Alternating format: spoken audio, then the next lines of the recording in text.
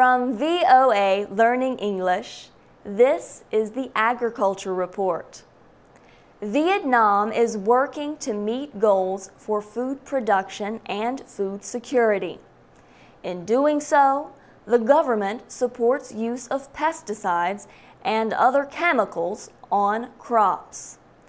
Farmers use these substances to help crops grow and protect them from insects and other threats.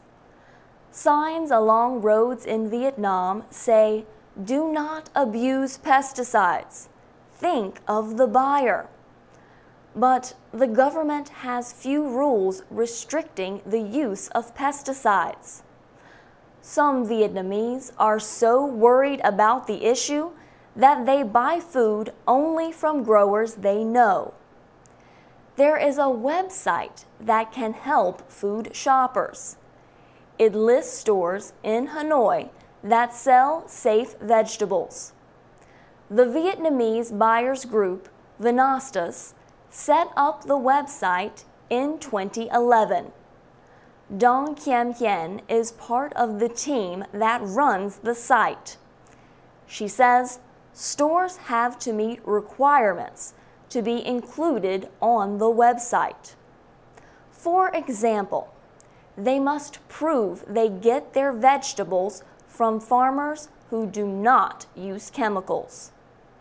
Ms. Dong says a store will be removed from the list if it does not obey the rules. Eduardo Sabio is with VECO, a Belgian non-government agricultural group. It supports the local website. Mr. Sabio says pesticide misuse in Vietnam is a real problem.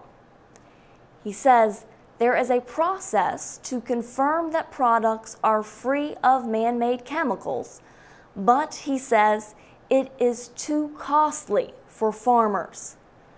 Mr. Sabio says the Safe Food website uses what is known as the Participatory Guidance System. It supervises food safety through quality reports from farmers groups, traders, and local officials. The system is used in more than 20 countries around the world. And, Mr. Sabio says, Vietnamese farmers keep detailed notes about their pesticide use. For VOA Learning English, I'm Carla Babb.